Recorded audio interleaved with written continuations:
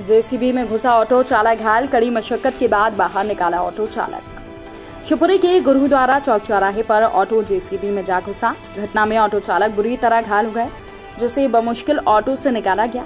घायल को इलाज के लिए अस्पताल में भर्ती किया गया है।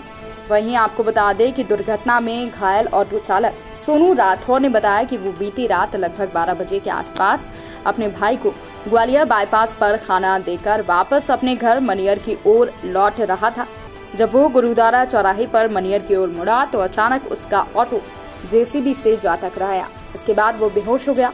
ऑटो चालक सोनू राठौर ने बताया कि हादसे के वक्त ऑटो में उसका दोस्त मनीष ओझा भी सवार था जिसे मामूली चोटें आई हैं। सोनू राठौर। कहाँ रहते हो? जहाँ किराए से रहती हैं छुआड़े की टांग की जहाँ कहाँ रहते हो? चंद्रा कॉलोनी चंद्रा को कैसे लग गई आपको चोट? क्या हो गया? एक्सीडेंट है। कैसे हो गया? जीसी वाले दे गए। आप कहाँ से कहाँ जा रहे थे?